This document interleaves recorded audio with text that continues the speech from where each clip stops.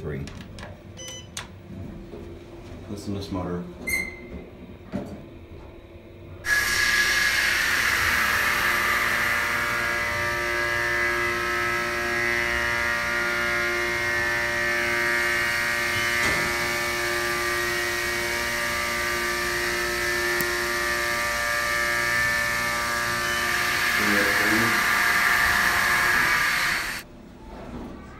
Now we're gonna go to two.